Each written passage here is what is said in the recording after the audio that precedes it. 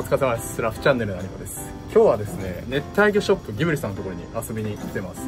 で以前ねこちらの動画で、えー、ギブリさんの方を紹介させていただいたんですけど今回はですね前回ね実家で捕まえたクマゼミを冷凍して持って帰ってるんですけどそのねセミをギブリさんのところにいる大きなねアジアアロワナに食べさせようかなと思います。最後にね、えー、次の動画の次回予告もつけてるのでよかったら最後まで見てください。それでは本日の動画見ていきましょう。どうぞ。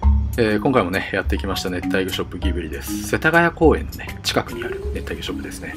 で、結構ね、いろんな種類の熱帯魚が置いてるので、ね、気になる方はね、ぜひ足を運ばれてみてください。ベタが可愛かったですね。それではね、早速本題に行きましょう。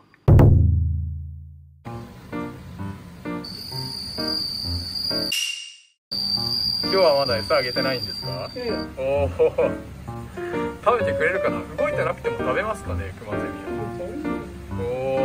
ゃあちょっと早速一匹あげてみてもらえますか？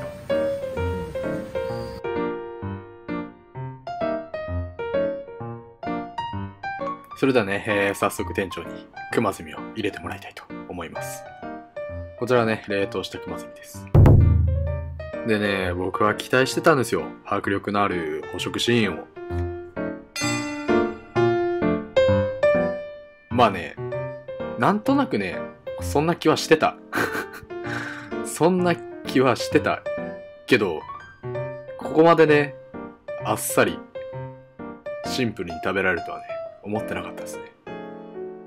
なんだろう。やっぱり、アジアアロワナが食べるにはちょっと大きすぎるぐらいのね、昆虫を一生懸命なんかこう、食らいついて食べるぐらいの絵面が良かったんですかね。とにかくね、ただただひたすらこのアジアアロワがね、美しすぎるだけの映像になってしまいました。でね、このアジアアロワナかなり懐いててね、もう見てください、これ。店長ね、待てを 教えているという。すごいっすよね。さあ、2匹目ね、行きましょう。美味しいのかな、やっぱり。ああ、待ってるわ。うわ、一瞬。瞬 一瞬すぎる。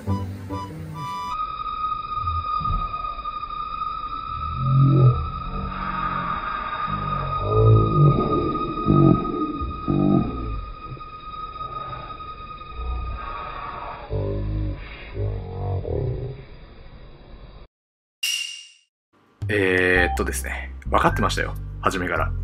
多分こうなるんじゃないのかなと。まあ、ただね、このアジアアロマなんかかっこよすぎてね、撮りたかったんですよ。まあでも、1回目に比べたらね、ちょっとはいいんじゃないですかね。口からセミの羽がはみ出てたりして。まあ、こういうのね、企画倒れというやつですよ。まあ、ただね、えー、このアジアアロワナのね、魅力はできるだけ多くの人に見てもらいたいなと思うのでね、動画にさせてもらいました。かっこいいっすね。うちで買いたいけど、ちょっとこれがいると怖いですね。迫力ありすぎて。なんとね、撮影をしてたら少年がね、生きたセミを持ってきまして、アロハナに食べさせたいと言い出したんですよ。もうマジでね、救世主ですね。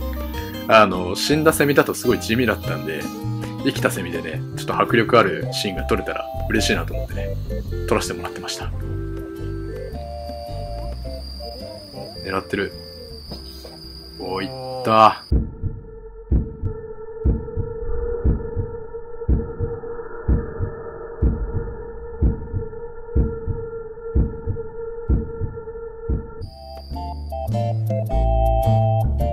ということでね、えー、今回の動画は、熱帯魚ショップギブリにいるアジアアロワナにセミを与えてみたという動画でした。一瞬でね、終わっちゃいましたけど、どうでしたでしょうか。なかなかね、えー、こういうのは、まあ、見たいと思っても見れない映像だと思うのでね、えー、今回は動画にしてみました。自宅で本当はこういうのね、ガンガンやりたいんですけど、さすがにペット部屋でね、こんな大きい魚は飼えないので、またね、お邪魔して、えー、セミ与えていきたいなと思います。本日はね、こちらで動画終わりになります。また次の動画でお会いしましょう。バイバイ。はい、えー、おまけ動画です。これなんだかわかりますか？このちょっとアップしてみたら分かると思うんですけどトゲトゲした歯みたいなヤスリみたいなやつこれね世界最大の淡水魚と言われているね、ピラルクーの下、ベロだそうです。やばくないですか？ベロにこんなトゲトゲしたなんていうのかな？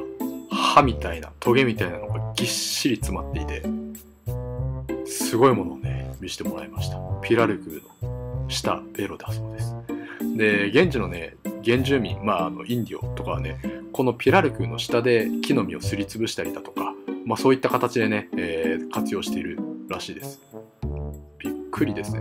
で話によるとねアロアナもねこんな感じの舌をね持ってるらしいですけどまあちょっとね想像を絶するようなね、ものが出てきてね、非常に面白かったです。